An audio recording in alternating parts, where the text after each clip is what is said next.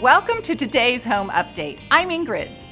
Whether you're looking ahead to retirement or just looking to reduce debt, paying down your mortgage faster makes for a rosier financial future. Here are some relatively painless ways to do so. First, instead of making a monthly mortgage payment, try switching to accelerated biweekly payments. Not only will this shave years off the term of the mortgage, it will save you thousands of dollars in interest. Next, try rounding up each payment to pay at least a little more each time. For example, if your payment is $865, round up to $900 instead.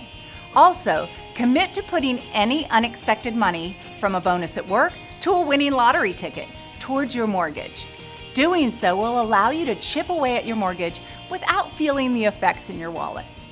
Finally, consider making one extra mortgage payment each year most lenders will allow you to do so and will apply it directly to your loan principal. Thanks for watching today's home update. See you next time.